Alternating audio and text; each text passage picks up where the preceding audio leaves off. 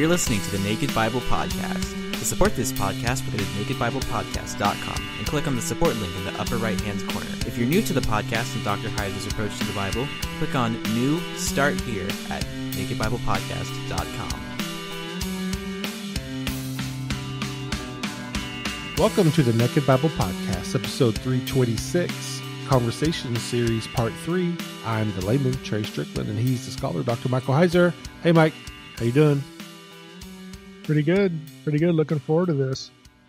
Yeah, this is our, our third part. I think we've got about five or six of these. So um, mm-hmm. it's, it's interesting to hear, uh, you know, how yep. how everybody's doing out there, first of all, and also how they're incorporating, you know, the material and uh, and, re- and teaching it. Yeah, I, I, yeah, I just I just like I'm always curious as to what people are doing with it. So I I kind of like you know hearing that and you know, I always learn something, get a new idea, you know, do's and don'ts and all that sort of thing. So yeah, I, I mean, I, I like testimonies just generally and people's stories. So this is this just has a natural appeal to me. Well, we're back again with our third round of just having discussions with pastors or people who who teach in or around the local church or just teach groups of believers uh, the content of unseen realm um, again, this is in response to an email I sent out some time ago now about, hey, has anybody anybody out there tried this uh, on a sort of in an intentional way? And you know, got an overwhelming response. And so again, we're doing a few of these episodes because I like to hear people's stories, uh, and I, I know listeners do too. You know, like you know how not not necessarily focused on okay, what how did the content help you, but but once you sort of got into it and and had a good grasp of it, you, you know, had a there was a certain comfort level there. How did you start trying to teach it in your ministry, whatever that is? So we have four guests again. Um, I'm going to ask each of you to introduce yourselves, and let's just start with you, Roberta. Uh, tell us who you are, you know, where you're at. I mean, whatever you you know you feel uh, is appropriate to share about um, you know yourself for the sake of the episode. Um, my name is Roberta Skolton. I'm in El Paso, Texas. I am not a pastor. I am a person in the pews, but I read your email and I thought just for the heck of it, I would tell you that people who sit in the pews can entertain the material without pastoral guidance. Um, I was first exposed to your name, Dr. Heiser, reading a book by Cris Putnam on the supernatural worldview. He had a segment in his text on the divine council, and he referenced um, your upcoming publication of the unseen realm. And my interest was immediately piqued because this was a topic I had not heard of the Divine Council. So he provided a link to your website. I went. I read all your material. I printed it all off, including um, other um, works by other authors, principally Amar Annus and. Um, you killed a lot of trees. I did, and and it, I pre-ordered The Unseen Realm uh, and Supernatural, and as soon as they came, I devoured them. I read, I principally focused on the unseen realm. Mm-hmm. And I realized that my life had been changed forever. That everything that I'd had questions about in scripture, I would mark in the margins. What the heck is going on with the angels? I don't understand this. And you had answered all my questions and, um, I shared it with other uh, women in my acquaintance and we just, we decided to sit down and have at it. We took over a year to go through the unseen realm. We used all your materials that you provided on more unseen realm.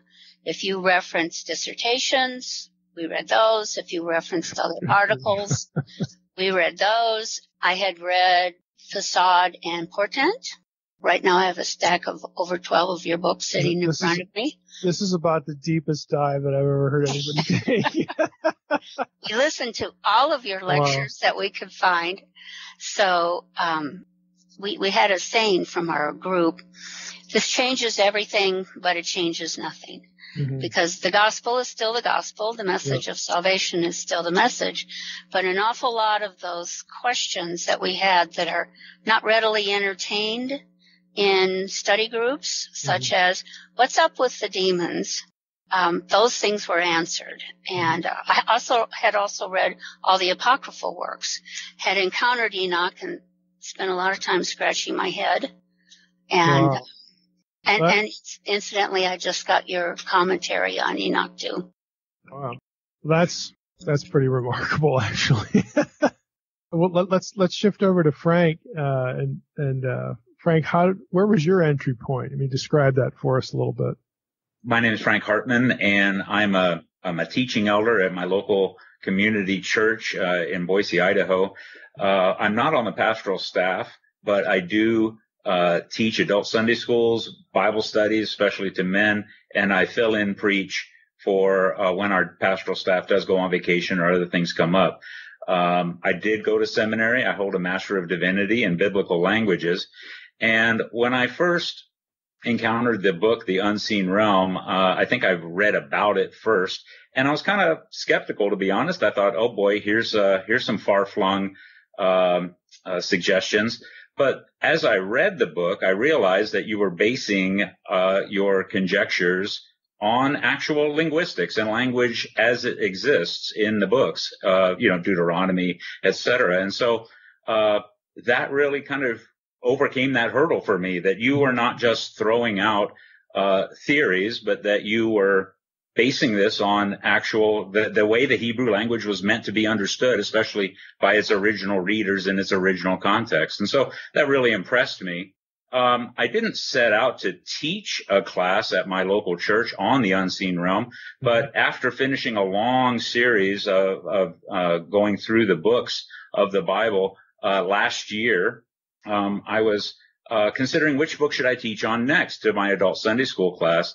And I had just recently re- read a number of books from uh, Dr. Daniel Block on Deuteronomy and the Torah. And I thought, well, that'll be interesting. I don't think most people in their uh, adult Sunday school class curriculum usually get exposed to Deuteronomy mm-hmm. and what it means in the Torah. And and so I thought that'd be good to to to go with. But I also during that teaching uh, stretch, um, I also incorporated the uh, Deuteronomy 32 worldview, as you describe it in your book, to kind of give a good framework of uh, exactly what Moses was talking about, things that Moses and the Israelites kind of took for granted that sound very strange to modern uh, worshipers in evangelical Christianity. And so I, I kind of folded that in there uh, when those chapters came up, when those topics came up, I would fold some of those same concepts that you brought out in Unseen Realm in. And um, uh, that seemed to be very effective. Uh, granted, most people at first said, what? Are you sure? But I showed them in the language. I showed them uh, it, it, the context. And the more they saw it, the more they saw that, hey, that's right. This does work. That does answer actually a lot of questions that I might have had. And uh, I found it to be very effective. Wow. I, I, without naming any source or anything like that, where did you, where did you first hear about it initially? You know, well, uh, I first found out about the book um, through Logos, actually, because of your influence with Logos, and and I, uh, as a seminary student, I bought a number of resources through Logos, and so that was kind of where I first ran into it because it was part of your bibliography. Mm-hmm. And, uh, but I didn't know much about you at the time and other works that you had done. Um, so my first impression was, uh, because it did have to do with, uh, you know, the, the standard demons and spirituality sure, sure. and things. And, and that can be a very, uh, uh, that can be a very creative topic in evangelical uh, authorship, right? So at first I thought, oh boy, here we go, you know. Uh, but I, again, the more I read it, the more I found this that you know you're not speculating. You are basically anchoring it to what the Word of God already says, and that really made an impression on me, and and it and it cast a sense of legitimacy over uh, over the contents of the book. Yeah, well, that I, am I'm, I'm glad you actually looked at the book. Some people wouldn't. Doug, uh, why don't you introduce yourself as well here? Okay. Hi, Mike. Um, this is Douglas Kump, and I'm a pastor, uh, theologian. And I first uh, learned about um, your work. Uh, I was doing some research on the Trinity, and I was listening some uh, lectures on YouTube on re- in reference to the Trinity, and I saw your video on the Jewish Trinity. And so I watched that, and that's the first um, time that I had uh, interacted with your material. And of course, shortly after that, The Unseen Realm came out, and I wrote. I was a theology and media review writer at the time for a, a website ministry, and I wrote a review uh, about The Unseen Realm because it, for me it was completely uh, revolutionary. Um, and I had graduated from Bible college and seminary, and it's really the first time that I had ever uh, heard uh, this type of a teaching. So it was really revolutionary for me, and I thought it was extremely important uh, for people to uh, hear this information and learn about it. And so I am a minister and teacher of a home congregation or a house church and I'm also a theology teacher. I've been teaching at a classical Christian school uh, in the School of Rhetoric, which is uh, equivalent to high school, for 15 years. And so for the last two years, I've been teaching the unseen realm material to my senior apologetics class. What I've really done is enter, integrate um, the unseen realm material or the Deuteronomy 32 worldview material into my apologetics curriculum, just explaining to my students how important it is to understand the spiritual warfare backdrop of, uh, in reference to doing apologetics and evangelism. And I've been teaching it to my uh, home congregation for the last two years. And the people are just both shocked and surprised. Number, shocked that they haven't heard this before and pleasantly surprised. And I've just heard uh, just remarkable uh, testimonies of how this has really brought uh, a greater understanding of biblical theology to their uh, entire worldview perspective. And it's just been a wonderful experience. My congregation has a lot of uh, Messianic Jewish Jewish uh, participants, and they've even never heard of this material. And one of the gentlemen whom I who's part of my congregation, he was just so excited about the material in the unseen realm that he asked me to basically meet with him in private and some, do some private tutoring. So we did that for about two months, and he's really excited about using this material to reach the Jewish people uh, with the gospel and, and, give them a better understanding of you know the two powers and uh, the Jewish binitarianism that's so uh, clear uh, even in the Old Testament or the Hebrew Bible. Uh, if you if you look for it and make the connections. So it's been a great experience both for my students and my congregation, and uh, they just love the material and are, are really using it to, um, I believe, further advance the kingdom. Wow, glad to hear that. And uh, lastly, for this episode, we have Jason. Jason, can you introduce yourself? My name is Jason. I serve as a senior pastor at a small church in, I'll just put it this way, in the West. Um, I was first exposed to the unseen realm, uh, really actually through none of your maybe normal venues, but um, I had done my master's degree and I was not good with the languages. So I skipped out of the full MA and went with the master's of ministry, knowing that I could work on languages later and I picked up the Logos learned to Use Greek and Hebrew. And although I'm still maybe not very good with the languages, that tool, when I sat there watching you walk through the text and walk through, you did a Bible study on the word sod, uh, which was counsel.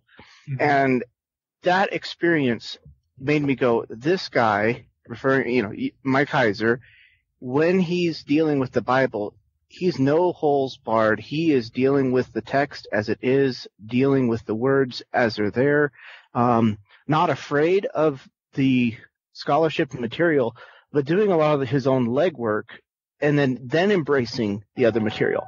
And I was struck by that. And so over the course of time, what's happened is I have got to the point where I just think I wonder if Mike has said something on this passage, or if I wonder if this ties into this mm-hmm. with this worldview. And that can be a dangerous thing when you always look to one person, but with with your material, you're always well resourced with other people. And so there's a footnote crumb trail to follow. There's things of that nature that are always available for me to do my own research and work. Uh, and so that really got me using it so much so to the point I can't say I've deliberately taught through a lot of the material, but just that question of I wonder what the ancient Near Eastern person was thinking, and I wonder what materials out there drives my teaching and drives my preaching to really approach it differently. Mm-hmm. And it's fresh for my people. Um, for some, it's very fresh. For some, it's very hostile. I've had people leave the church, and one of the reasons they cited for leaving was I'm reading your books, and that material is scary. Um, so, right. you know, I and that was after I I was doing a, a Bible doctrines high overview of Bible doctrines, and I got to the section of the book we were working through, and it was on angels and demons. And I told the people the first lesson, I said, we're going to cover the basics here in this book.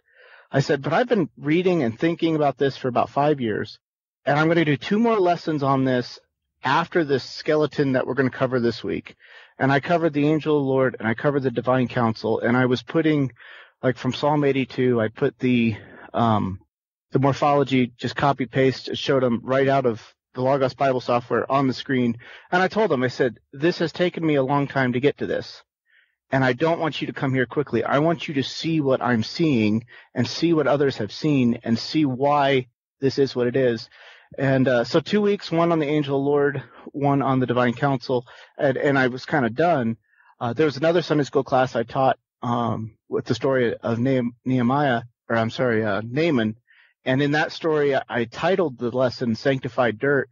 And later I realized, oh, that was Mike Heiser's title for that. I, I stole his title without knowing it. Um, Good for you. So anyway, I, I realized I had been saturating in the material, which is really how you, how you need to get it. So, mm-hmm. um, I don't know if that helps answer some of those questions. Yeah, I mean, that, those are, those are all, that's a good introduction. These are all good introductions, you know, to how you know, I'm always interested in how people first, you know, come across the material. And then especially, you know, when I sent out that email to, to my email list, I'm thinking, you know, there, cause I, I get the question privately, uh, in email, like, you know, I read your book and I've been thinking about this and I listen to the podcast and I just, you know, I want, I want to be able to teach this to my people, but I don't know where to start. I don't know what to do. You know, how can I do this without sounding heretical? you know, I, I, get these questions, and so that's what what prompted the uh, the email to be sent out to the email list that, that all of you replied to.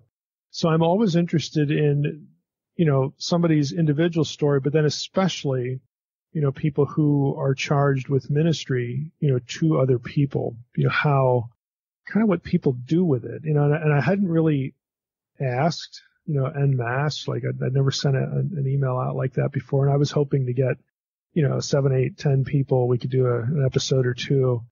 But it was just kind of overwhelming, you know, so now we're doing a whole series of these. So along with, you know, your introduction, what I, I guess what, what I'm trying to get out of these episodes is how would you advise somebody who is sending Mike the email? I, I want to be able to teach this, but I'm, I'm nervous. I'm scared. I don't, quite know what to do. I mean, you've all, you're all doing it. You've all jumped in somewhere. So if we can talk about kind of, I mean, if, if that person was in the group here, if that person is in the room that's just, you know, fearful, I'd like to hear about recommendations from all of you for what to do, what not to do. And then, you know, we'll just kind of take it from there. So how would you how would you encourage somebody to get started and where would you recommend that they start? Oh, this is Frank. So the, what I would not do is to stand up in front of your audience with a copy of Mike's book and say, now we're going to teach the unseen realm for the next, you know, 12 weeks or whatever, you know, that, right. that is not the, what I would do. Uh, what I would do though, and I think is vital is that is to uh, establish your credentials. Uh, to your congregation, you have legitimacy, you have authority, and uh, whether you are uh, fluent in Hebrew or or not, uh, though, though that would certainly help, uh, it helped me because my congregation, my class, uh, I they know uh, that I'm fluent in in the biblical languages. So when I bring up points in my teaching, they know I'm not making stuff up. This is the real deal. You can go find out about it yourself if you'd like.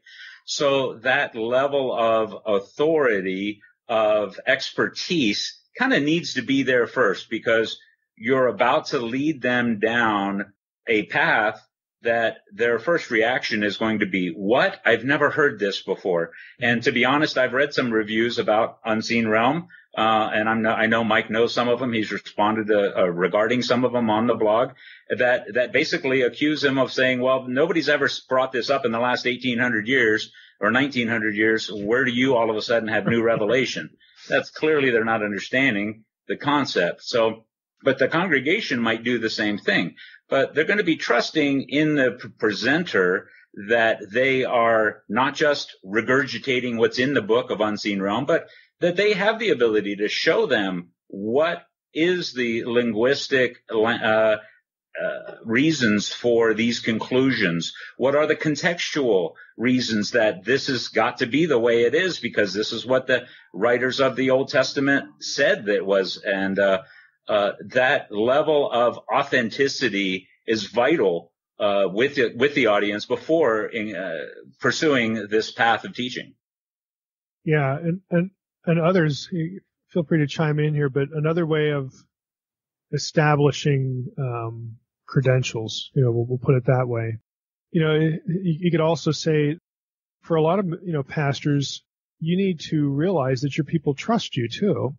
I mean, you, this is your ministry. You should have built a, you know, bridges of trust long already, uh, to people and, you know, just tell them, look, you know, they, I, am still me. You know, we, you know, we, we, ad, we adhere to our doctrinal statement like we always have, but, you know, we want to start thinking, you know, about some passages that may not be as familiar with you, maybe thinking about them in different ways, but we're still who we are, you know, just again, to sort of, you know, draw on the trust factor there. But again, that I'd rather hear what, what, what you guys think. So any, anybody else want to chime in on that point? If I may, mm-hmm. as a parishioner and as one who has had a multitude of questions over the years, and as one who, for the very first time they sat down and read through scripture in an unassisted format, all on my own with only the Holy Spirit as my mentor, there were many things that I learned that were at odds with what I had been taught throughout my life. I, I ticked all the boxes in terms of Christian education and devotion to uh, attending service.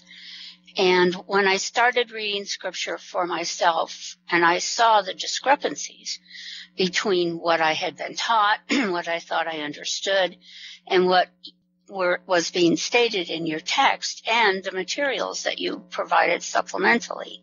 To say that I was angry would be a bit of an understatement as somebody who was sitting in the pews for years and felt that I had been deceived, misled, and the level of disturbance, shall we say, was profound. And I was so grateful for someone to have the courage to actually articulate, that this has been known for years, but for some reason it hasn't been put out there, whether it's a function of fear or discomfort with biblical languages, really is not material to somebody who sits in the pew. They just want the truth. And they don't want a little bit of it because giving a little bit is a very slick way to lie. They want the whole truth and nothing but the truth. And I felt very strongly that you did that in all of your works and you backed up what you said and your credibility was established by all of the supplemental materials that you provided. I was just overjoyed that someone would finally speak the truth. And all the questions that I had asked of pastors, of teachers, of the questions I'd encountered as an instructor were answered and they could be answered rationally, logically, and fully uh, within the context of known scholarship. And I don't think you need to be afraid and treat your parishioners you know, like they have to be packed in cotton and sent home to mom. They can handle the truth, and it would be really refreshing to have it. Anybody else? Uh, I'll jump in if you don't mind. This is Jason. Um, as a pastor, I think once you start transitioning into thinking, I'm, I'm going to put this in my material. I'm going to, I'm teaching through this course or whatever. I'm going to touch on these topics from the divine council worldview or Deuteronomy 32 worldview. Uh, I think one of the perspectives as a pastor is, is yes, it's, it's important you have the credibility established and your people know you and they trust you because they've seen you handle the word and you're honest with it. But as you are leading people, uh, I use the analogy of railroad tracks. Um, out here in the West, there's a lot of railroad tracks and you will not find a steep incline. You'll not find a sharp curve. Um, everything is gradual. And the reason it's gradual is because when you have a lot of weight and a lot of momentum, if you turn it quickly, you derail. And as a pastor, we're leading people and we want to be honest with the text and we want to work through that, but, but knowing that sometimes people are going to have hiccups and we're going to need to stop here and dwell on this topic a while or answer a lot more questions or dig in just before they get satisfied with understanding that this is the right perspective. This is what the ancient Near Eastern people were thinking and viewing, and this is what the text says. And so it's just a, a patience with the people, knowing that it's not going to change overnight. It's going to be kind of a, a long process. And for me, it's uh, started way back in like 2005. So it's, it comes out slowly.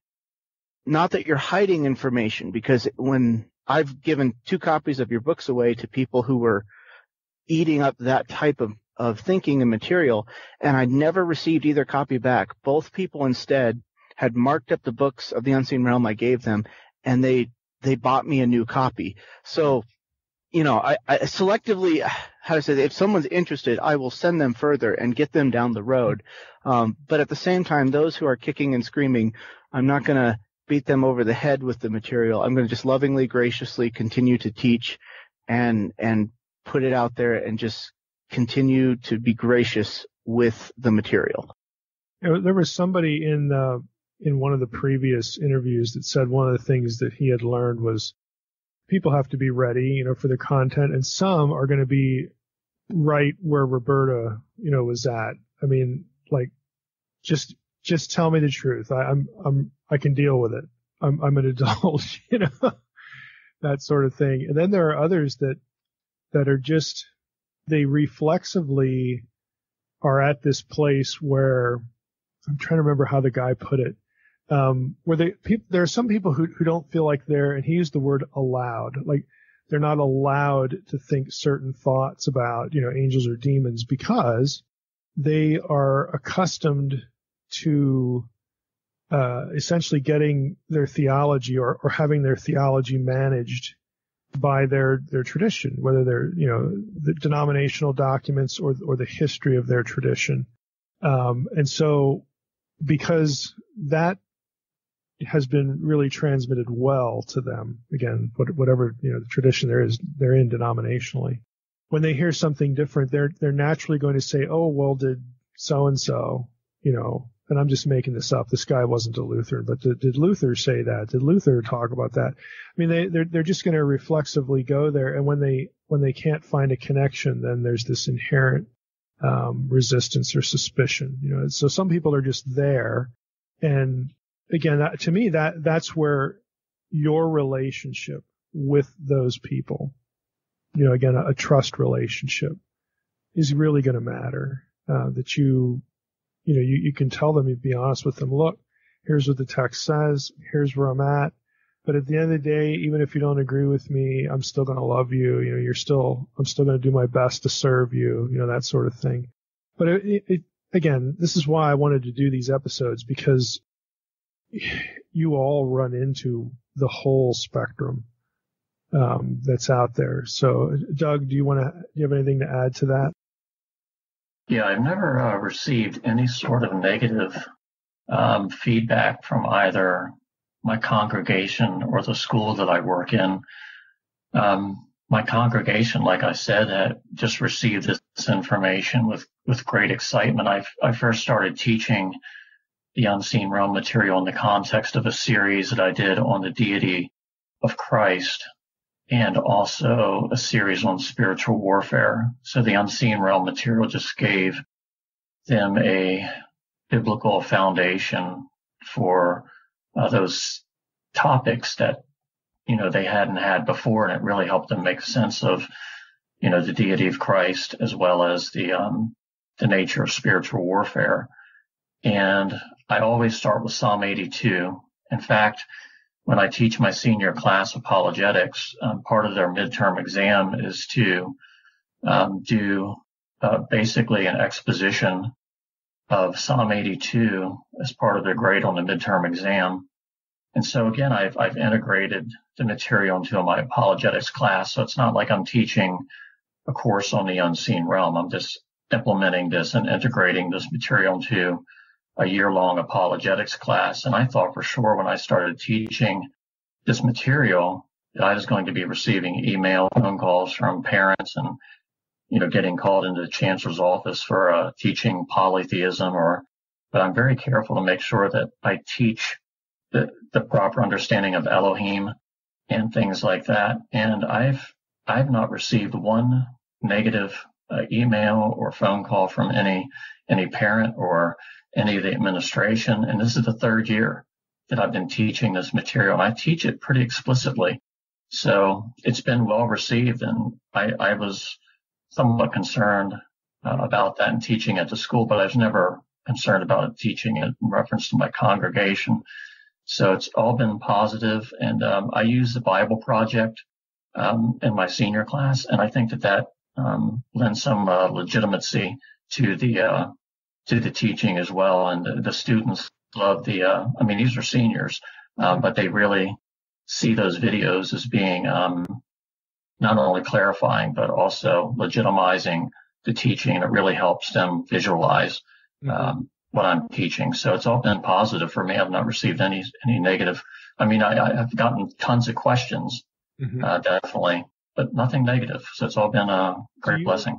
Do you have, is there a lot of overlap between the, the parents, the, the people in your church and, and the, the, also being the parents of the students you have? Is there a, a great deal of overlap there? zero overlap. Wow. And um, you know, we you know, have a pretty large uh, school where I teach. It's a it's a church um, related school, so it's part, uh-huh. part of a, a, local church. Uh, we have about 400 students. So I've been teaching there for 13 years out of my 15 years of teaching, mm-hmm. and I've been teaching these same students when I teach your material to the senior class. I've already taught these students for two or three years biblical studies and church history. And so they're familiar with me. I'm familiar with them.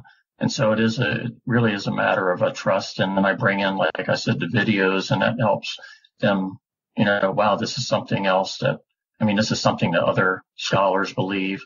And I do explain, at least to them in my congregation, that this is like, like you say, this is like mainstream theology 101, but it just takes a while for that to trickle down into the local church and to the, the mainstream evangelical church, but everybody's been excited about it.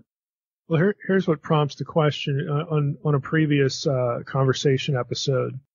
Uh, there was a, a, pastor who started out his ministry teaching, you know, the youth, you know, middle middle school through high school, and I thought this was a great idea. One of the things he did was, to, you know, to prevent teaching, you know, you, you give the content in the room and you got a bunch of middle schoolers and high schoolers there and then they, they process it in some way. Okay. And then they go back home and they, oh, you never guess what, you know, Pastor so and so said today. And, and if it gets miscast or, or summarized poorly, you know, he was afraid that he's going to get, you know, phone calls and like, you know, what's this heresy you're teaching? So what he did was he created a simultaneous blog for every lesson for the parents. It wasn't to summarize it for the kids, it was for the parents.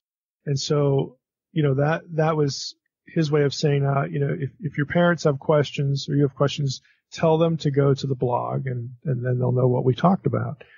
So uh, that's why I was wondering what the, if there was a close connection there that, that you kind of like were able to head off one issue because of that, but, but your situation is totally different. That's actually quite interesting. Yeah, I would have done that had I received any feedback. Um, but I, I, I, would say that I would never teach this material to middle school students. I do teach the middle school Bible classes as well, uh, but I would not introduce this to those students. I, I'm sure that I would get some feedback from parents if I was teaching it to seventh and eighth. So I, I wait until the 12th grade to do it. Yeah. Right. Okay. Here's another thing that I, have I've been asking. Um, again, for the, for the person, the, the, the pastor who is, you know, like, oh, you know, he's on the fence. You know, I, I don't know if I should or shouldn't. Can you recommend a specific topic or strategy to help that that pastor gets started? Okay, they they have a different congregation. It's not yours. You don't know what their congregation is, but this person has come to you and said, "I you know, I know you know we we both like the book and and I know you're you're teaching it and and doing well, but yeah, I just don't know." So what? How would you get them started? What what's a good again a good entry point or a good topic a good strategy to, you know, help them get started? Anyone? This is Doug. I just say in my case that um, it's uh, I, I introduced this to my congregation in reference to uh, teaching through a series of the deity of Christ mm-hmm. and also spiritual warfare, just like a course. It was a biblical theological course on spiritual warfare, and then I did one on the deity of Christ. And of course, with the deity of Christ, you can bring in the the um, Jewish uh, ideas of monotheism and binitarianism, and with the spiritual warfare, um, you can bring in this material. Of course, that that's definitely the the uh, foundation for spiritual for properly understanding spiritual warfare. So that's the two contexts uh, in which I brought it in, and with the school again, it was apologetics. Yeah, I mean, what I generally tell people is find something that your people already hold dear and then either solve a problem related to that or some, you know, some criticism of that idea or show, you know, how this can, can really reinforce the idea. You know, there, there's a, they're already attached, you know, they already, again, something that they embrace. And so this can build on it. But anybody else, what, again, topics, passages, strategies? Our times, our culture is going through such a momentous upheaval right now, and we don't know if anything will ever be the same again. And trying to get a handle on what's happening, uh, dealing with the hostility that we see reflected in the media, the sharp divide in the culture. Um, I think there are many questions among ordinary citizens that what the heck is going on? This doesn't make any sense to me. Mm-hmm. people are so angry. Why are they so angry? And, and I think the answer to that very much relates to those who have spoken to the issue of spiritual warfare. This is outright, flagrant spiritual warfare. We may not be seeing the players in the background because they exist in the unseen realm, and can only be spiritually discerned if you're gifted in that regard. Otherwise, it just reflects a great big puzzle. But this text and the associated materials brings those unseen forces from out of the darkness into the light of of the testimony. But and let's take, let's take two two terms you just used and, and see if I'm I'm hearing you correctly. So you described essentially alienation. Okay. I mean, that, you know, people are angry. The other one was angry, you know, that we have these, we have alienation and anger. Let's just, let's just go with those. It's, it's alliterated, so it must be good. um, so we have, we have these two things. So a concept that, again, you could dip into the con, the content would be, okay, just, just even a very basic thing like God wants a family. Again, this, this is why I wrote, what does God want for people like a really at the at the beginning level, but just a sense of family and how that gets you into talking about both worlds. You know, the family God wanted on earth, the family you know God had in, in the heavenlies, and so on and so forth. So, are are, are you suggesting that we just take a look at our culture and try to tap into the the anxiety and the questions that, that arise from that as as good starting points? Most definitely. It's something that is emphasized in the unseen realm is that God, yes, He is sovereign. He doesn't need us, but He wants to. He wants to work together collaboratively. He doesn't mind and he does willfully share power, not power maybe, but authority. He delegates authority to those he's created. And even if they sin against him, i.e. those in the celestial realm, he didn't take away the special skill sets that he gave them. They continue to function with those skill sets. No, we those in the earthly realm, we need to know that that they still have those special skills and abilities and they're using them to our disadvantage, but that the Father has provided a way, warfare tactics, if you will. If you spend any time in the military, other than knowing your own military capabilities and armaments, etc., you, the number one responsibility of a soldier is to know his enemy and everything that they bring to the battleground. So who your enemy is, how they came to be the way that they are, is essential for establishing some level of calm. Uh, there's no reason for you to lose your cool, if you will, when confronted with a very hostile situation. The Lord has provided you with a way. You need to know who these who your opponents are and and you need to know how to deal with them that you can resist satan and he will flee from you. You can rebuke them. The lord did give you power and authority or authority over all the power of the devil.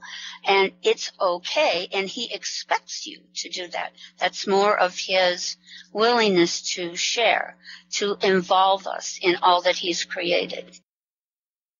Anybody else. I mean, I again, I think that's I think it's a good strategy. Again, just to I mean, I, I, did it in a completely like different way. I mean, I with the Stranger Things book that there that was just trying to take something in pop culture just to get people into the conversation.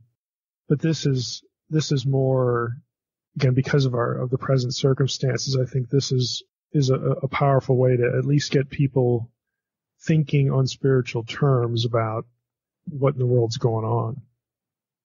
Go ahead. I think th- this is Jason. Um, for me, it was, uh, it took me a long time to be able to put what I was reading, like an unseen realm and, and a lot of your material into preaching and teaching because for me, there was a vast disconnect between it on a practical level. Mm-hmm. And I'm not, I'm not saying that disconnect's there, but it took me a long time to get that heartbeat of God is involved in family. His he has an earthly family, and the unseen realm, as they what was in is still is his family, and how he has a desire for us to be with us, and that has has become very central in how I think about it. Because if it's just so much of the discussion, and even before I was exposed to your material, people want to nuance the difference between a watcher and an angel or a fallen angel. And and for a lot of them, it's just nuance that seems more speculation than text driven. And there's all sorts of theories and stuff out there. And it's all curious, but they don't always apply it to everyday life. And sometimes they're applying things that they got to from a speculative position anyway. So getting into the text, seeing it from the ancient Near Eastern perspective, understanding and diving in, but then realizing this is about God loving us and sacrificially giving himself for us. And he has never abandoned us no matter what force is at work. Um, the Lord is with us and he has a desire for fellowship with us and we have a hope of home in heaven, uh, eternally with him. And so that to me is, has kind of driven the practical side of this, uh, and, it, and made it much easier to bring it home with my people as I teach it, um, through, through one aspect or another bringing it back to that point, I think, is, is crucial. So. Mm-hmm. Anyone else? But I have. This is Frank. I'd have to concur with the others on the call that uh, have integrated the ideas of unseen realm into other studies. Um, so, uh, as I mentioned, uh, I, I, did that specifically with a uh, study of Deuteronomy, but it could be done with a study of the Psalms, including Psalm 82. It could be done uh, in the New Testament as well. Uh, when uh, a good example with with Jesus being tempted by the enemy, um, I, I, find it very interesting the ease with which uh, evangelical Christians today uh, understand that the enemy is real, a real entity. Uh, they they firmly stand that he is not to be just ignored or characterized or caricatured. I mean, but um, but on the other hand, that's about where they leave it. He's the he's he's the bad guy in the story, and that's about where they leave it. Um, and so we've kind of already jumped over the hoop of does the enemy exist? We have we have agreement that he is a created being and a powerful one at that. But let's now go further into that, especially if you're in, for instance, Ephesians chapter six.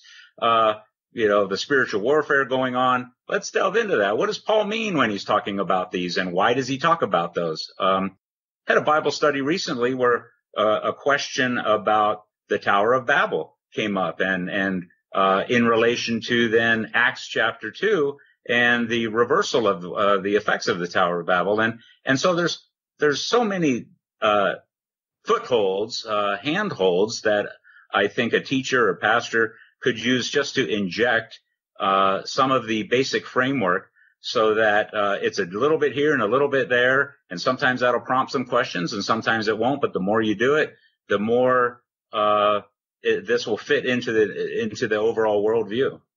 Mm-hmm. Mm-hmm. Well, the typically the the last question I ask is what would help. um, you know, this is this is all. I mean, the suggestions are good, the ideas are good, uh, but is there something that you wish you had, or that would have been really useful that still doesn't exist? And and I ask that because you know there are people out there who are going to be listening to this that are working on stuff I mean, the, the, the content gets repurposed by people. And, you know, there are other people out there who are just looking for the right idea. And, and, you know, for myself too, you know, I, sometimes I, you know, I have a whole list of things I, I could do. I'm still, you know, interested in, in where the holes are, you know, like what, you know, what's missing that would be helpful? I mean, you have Unseen Realm and we did Supernatural at the same time. Again, Unseen Realm was for the person who's got some Bible under their belt, isn't intimidated by books with footnotes. And then Supernatural was for the average person in the pew. And then I, I went and did, you know, What Does God Want on my own just for the, the new believer, you know, or the seeker. And, and there's a stepping stone there. You know, in theory, you know, somebody could start with What Does God Want and then graduate to Supernatural and then graduate to Unseen Realm. But but you know that's that I can see that is a, is a nice progression there. But you know what I can't necessarily see are where are the holes. Uh, so what what would be um, what do you want? What would you like to see? Just to get it done, do something. I, I don't know how it is in other parts of the country, but here uh, in in far southwest Texas, our, our gatherings are limited to 10 people or less. So churches are canceled. Um, and that, uh, attendance at church service, which many people feel is an anchor and provides them with some stability, that anchor has been taken away. How do they deal with that? Um, how do they deal with the loss of frequent uh, Eucharist services? How how can they handle all of these changes that are coming at a breakneck pace? So yeah.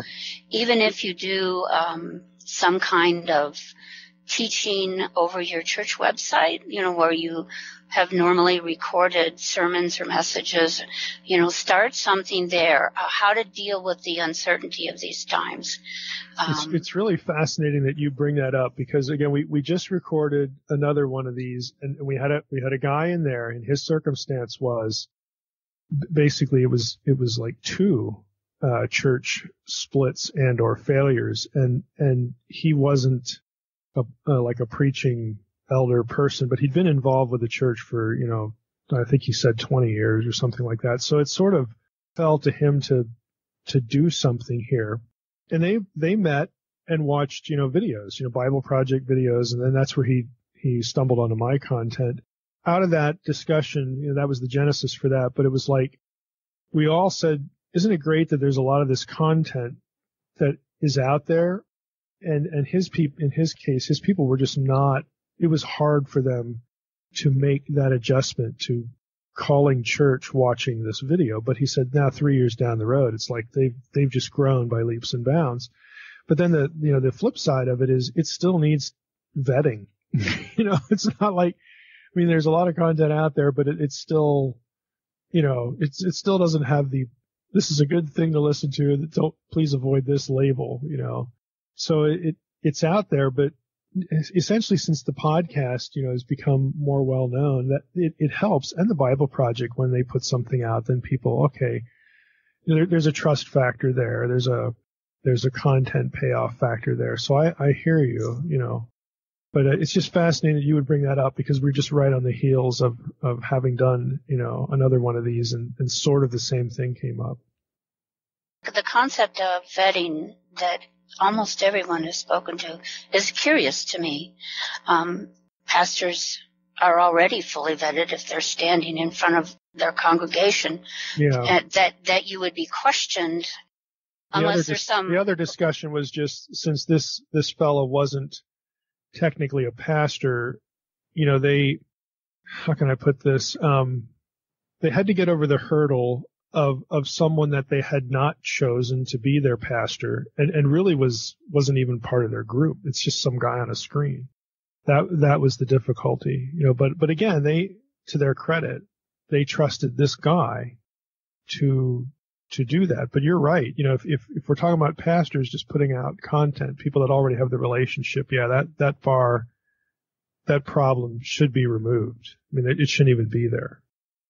Lots of times, if, if churches have home cell groups or however they're called for small group study and discussion and fellowship, um, people get thrown into that position. Mm-hmm. Um, they haven't been vetted at all, and they find themselves dealing with content for which they are not prepared, but they struggle through it or they consider themselves mentors rather than, than actual teachers or leaders. But if, if the pastoral staff and those that they've, you know, whether it's through whatever church government structure your denomination has, um, can go through their fellowship and find others that are willing to be trained with them and then go out and work through their home fellowship groups to maybe have opportunity for intimate discussions.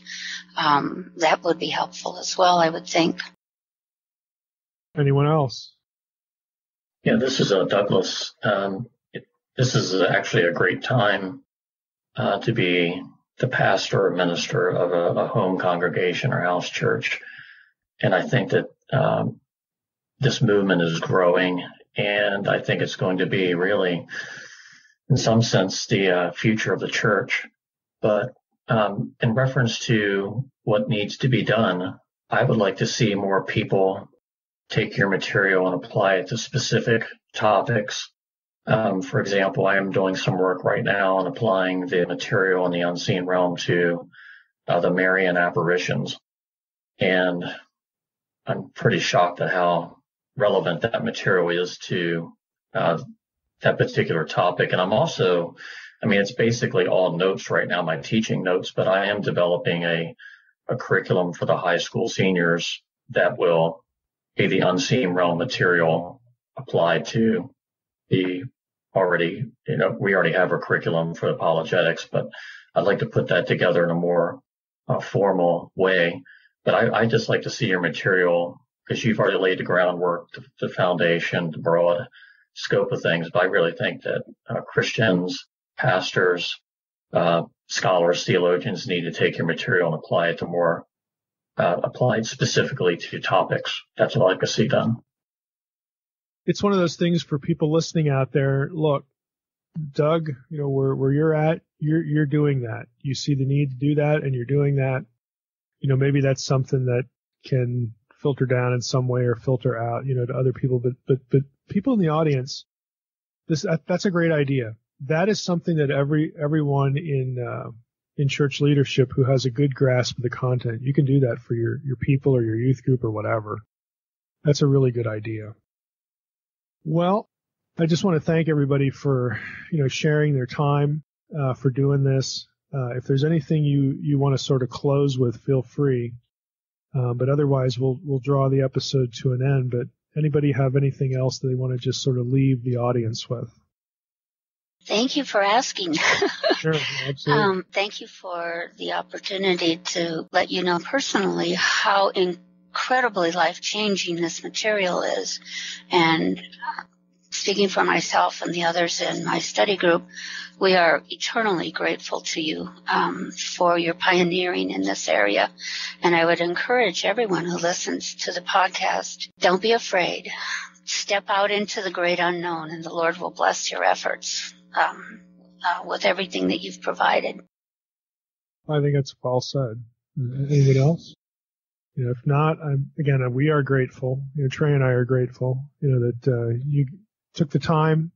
I know sometimes it's like it, it's tough to get episodes together when we have you know four or five people involved. But just thanks for carving out some scheduled time and doing this with us. Yeah, thanks to you, uh, Trey and Mike, for doing this. I really appreciate it. And your work is uh, is uh, going out. It's causing a great um, revival, at least in my uh, context. I'm very thankful for it. Well, you're welcome. Again, we we try to be useful, and Lord willing, you know, we we produce things and let you know let the Lord do with it as He pleases. You know, as He wants to do something with it, He will. So thanks again uh, for everybody you know, for meeting with us. Thank you guys very much. Love what you do.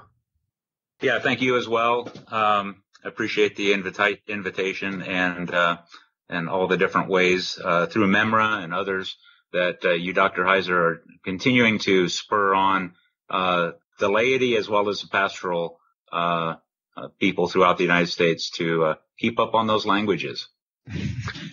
Absolutely. Absolutely. All right, Mike. Well, there you go. Another great conversation. Uh, we've had three of them now. We've got, I think, two more scheduled. So, uh, again, it's always interesting to see how people are taking the material and repurposing them. Mm-hmm. Yeah, absolutely. That's what we want to see happen, uh, and that that's the kind of ripple effect that will really matter.